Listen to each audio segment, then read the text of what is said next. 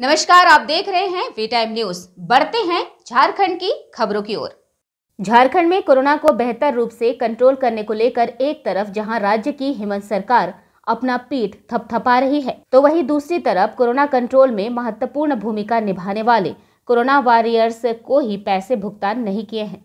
दरअसल, सदर अस्पताल में आउटसोर्स के तहत भर्ती किए गए 215 आउटसोर्स कर्मियों को राज्य सरकार लाखों का बकाया भुगतान नहीं कर रही है। दरअसल यहाँ आउटसोर्स कर्मी कोरोना काल में कोरोना टेस्ट का काम करते थे।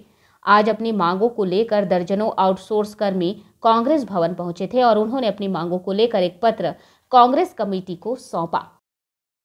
हम लोग, जितने भी हेली आए हुए हैं, हम लोग सभी कोरोना में काम किया हुआ हूँ।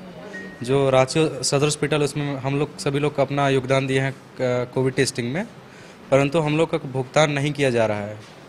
हम लोग सभी, हर जगह पे सिर्फ़ दौड़ाया जा रहा है, ये बोल के कभी पेमेंट है, कभी नहीं है, कभी किसी चीज़ के लिए, कभी किसी चीज़ के लिए, पर हम लोग का कोई भुगतान नहीं किया जा रहा है और ना ही सही डिसीज़न दिया। हम लोग को ये बोला जाता है कि अभी फंड में पैसा नहीं है, अभी भेजे हैं पेपर और यही पिछले दो महीने से बोला।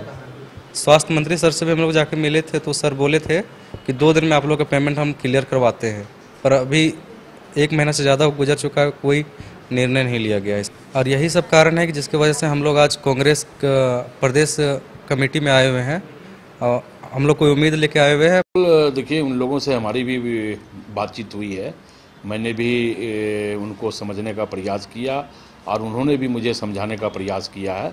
अब कहाँ गड़बड़ियाँ हुई है, किस कारण से इनका तनख्वाह जो है वो रुका है स्वाभाविक तौर पे इस मामले को हम गंभीरतापूर्वक लेते हुए माननीय मुख्यमंत्री से, माननीय प्रदेश अध्यक्ष से बात भी करेंगे और हमें लगता है कि बहुत जल्द इन लोगों के समस्या का समाधान जो है निकाल लिया जाएगा।